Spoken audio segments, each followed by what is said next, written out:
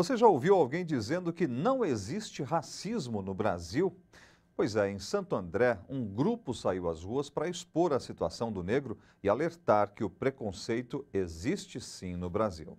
A sociedade diz que não há racismo.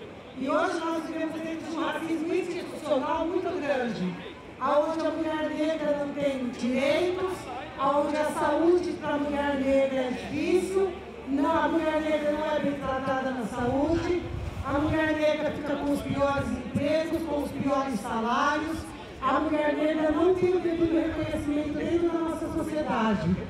E aí as pessoas dizem, mas não existe racismo, eu já ouvi muito isso. Vocês estão lutando contra o quê? Nós estamos lutando contra esse não existe racismo.